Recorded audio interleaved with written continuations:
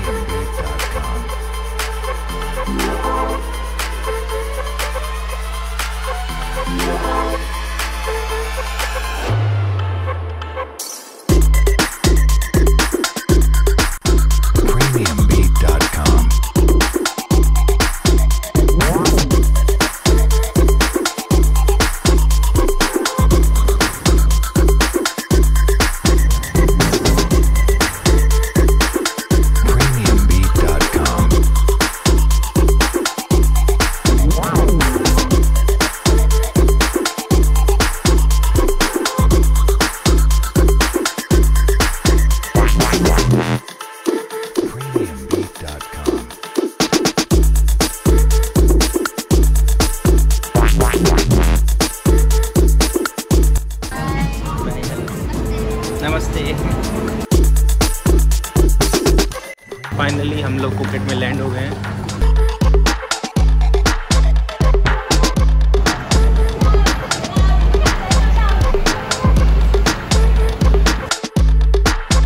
premiumbeat.com.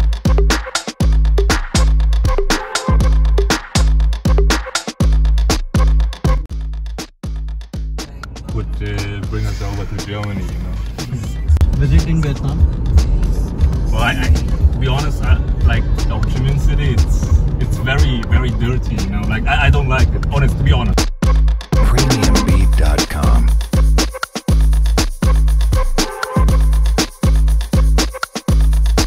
Thank you Thank you nice too. To meet you Nice to meet you too. Thank Have you. fun with your with your channel, man.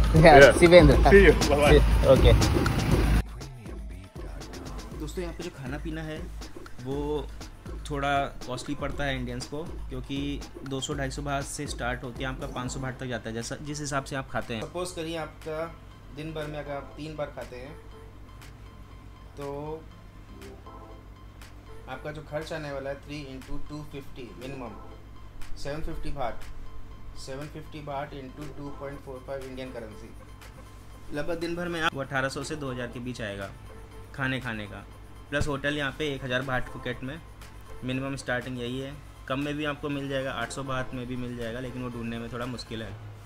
हज़ार भाट का मतलब है चौबीस, पच्चीस, सौ रुपये का मिल जाएगा easily and tuk tuk motor bike जो छोड़ती हैं आप लोग को पिक एंड ड्रॉप करती है, वो थोड़ी कॉस्टली लगेंगी आपको। वो दो किलोमीटर, तीन किलोमीटर जाने के लिए ही आपसे डेढ़ सौ भाट से दो सौ भाट लेते हैं। डेढ़ सौ भाट को अगर हम काउंट करें इंडियन करेंसी में तो साढ़े तीन सौ रुपये उनका मिनिमम चार्ज हो जाता है। तीन से चार किलोमीटर, पाँच किलोमीटर के लिए। तो इनकी करेंसी थोड़ी हाई हो गई अभी। जो लोग पाँच छः साल पहले या चार, पाँच साल पहले यहाँ आए थे, उनको उनको अभी आएँगे तो थोड़ा महँगा लगेगा ये। क्योंकि मैं भी यहाँ पे 2015 में आया था तो मुझे सस्ता लगा था थाईलैंड बट अभी जो है रेट थोड़ा यहाँ पे हाई हो गया है। करेंसी इनकी थोड़ी स्ट्रांग हो गई है। तो अभी जो है इंडियंस को ये जगह महँगी लग सकती है.